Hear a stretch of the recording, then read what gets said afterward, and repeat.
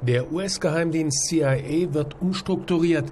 Ziel der Reform ist es, besser gegen Cyberbedrohungen vorgehen zu können. Dazu soll ein neues Direktorat für digitale Innovationen geschaffen werden.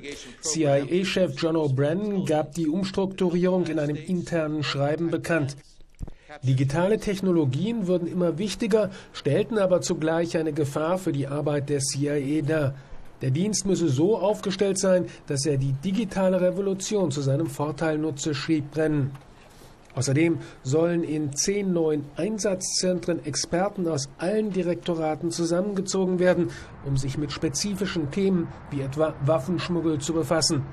Eines der Probleme der CIA sind interne Rivalitäten, die dazu führen, dass die Direktorate Informationen oft nicht untereinander austauschen.